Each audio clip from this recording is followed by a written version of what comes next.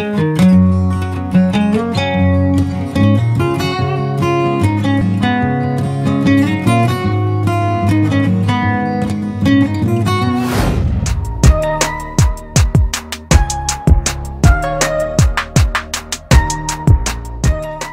guys welcome to my channel R S R paintings तो आज हम मणिकर्णिका घाट का पेंटिंग करेंगे।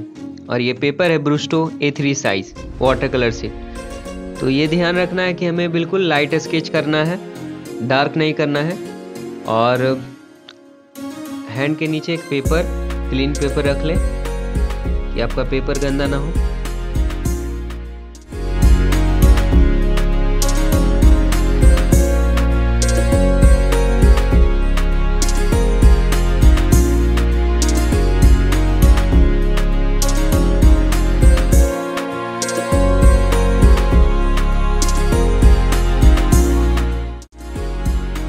और आपको कोशिश करना है कि आप फ्री हैंड बनाएँ। ठीक है? ग्रिड सिस्टम नहीं अप्लाई करके आप फ्री हैंड बनाएँ। भले ही कुछ मिस्टेक होगा कोई बात नहीं। क्या बात है? यही नहीं अभी और सुनिए। वो धीरे धीरे आने वाले वक्त में वो भी सुधर जाएगा प्रैक्टिस के साथ। तो इंपॉर्टेंट है कि आप फ्री हैंड बनाएँ ग्रिड सिस्टम को छोड़ें। तो स्केच कंप्लीट हो गया और हम इस पर वाटर वॉश देंगे।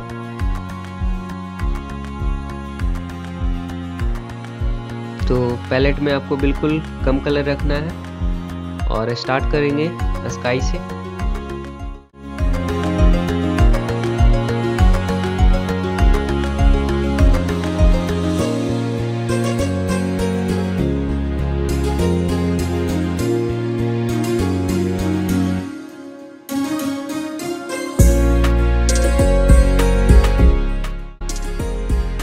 आपको बेस कलर बिल्कुल ही लाइट रखना है।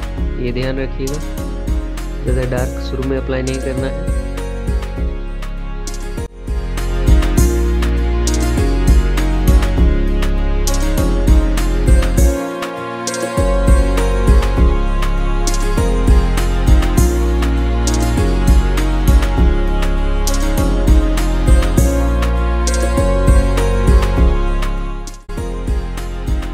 फ़र्स्ट लेयर सूखने के बाद मैं सेकंड लेयर अप्लाई कर रहा हूँ। और सेकेंड लेयर से मतलब डिटेलिंग का काम शुरू कर दिया हूँ अभी। क्योंकि आप चाहें तो ऐसे फ़र्स्ट वॉश में ही काम कर सकते हैं वेट इन वेट टेक्निक में। और जैसा मतलब जितना ज़्यादा आपको डिटेलिंग करना है, उसके अकॉर्डिंग आपको उतना ज़्यादा मतलब लेयर में काम करना होगा। तो इसमें हम ज़्यादा डिटेलिंग वाला काम नहीं करेंगे। मतलब सेकंड वॉश में ही हम सोच रहे हैं कि सेकंड लेयर में ही मतलब काम ख़त्म करेंगे इस बार। देखते हैं क्या रिज़ल्ट आता है। तो आपको दिख रहा होगा मैंने डार्क कलर, वॉयलेट और हल्का ब्लैक और अल्ट्रा मेरीन ब्लू को मिक्स करके बनाया है। और कहीं कहीं ज़रूरत पड़ने पर हल्का ब्राउन भी मिक्स कर लेता हूँ।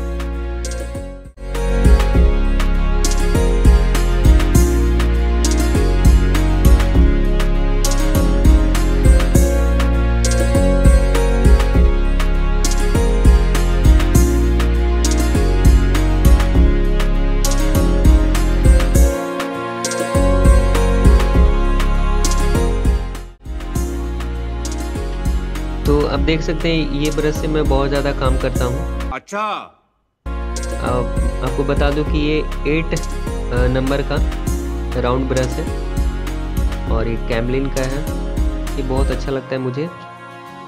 जब हर एक लेयर में चढ़ा देता हूँ तो उसके बाद फिर मैं लास्ट में इसी ब्रश से काम करता हूँ और जो भी डिटेलिंग करना रहता है इसी से काम करके फिनिश करता हूँ। और जबकि ये सिंथेटिक ब्रश है मेरे पास मॉप ब्रश है फिर भी मैं इसका इस्तेमाल करता हूँ, जो कि मेरे पास मॉप ब्रश ज़ीरो टू और वन सारे नंबर के ब्रशेज हैं मेरे पास, लेकिन फिर भी मुझे इस ब्रश से काम करना पसंद है।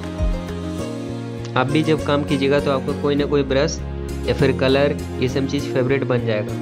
आपका कोई पेपर होगा, वो ज़्यादा फेवरेट बन जाएगा, ऐसा होता है। तो मेरा इसी तरीके से ये ब्रश मेरा फेवरेट बन चुका है।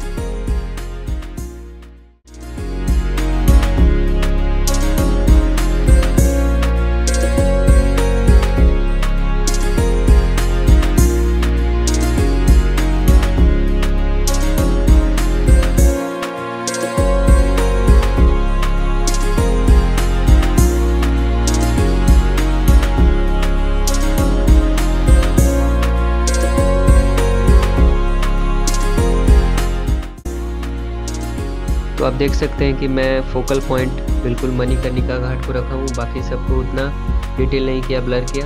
और फिर ये जो बोट मैं आगे बना रहा हूँ, उसमें मतलब लाइट कलर था, लेकिन यहाँ पर मैं फिर से येलो कलर ऐड कर रहा हूँ, चढ़ा रहा हूँ इसमें मैं थोड़ा डार्क कर रहा हूँ।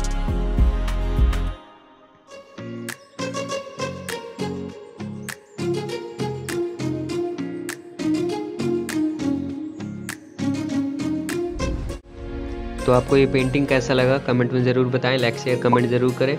और मेरे चैनल को जिन्होंने सब्सक्राइब अभी तक नहीं किया है, इस तरह के वीडियो देखने के लिए सब्सक्राइब कर लीजिए।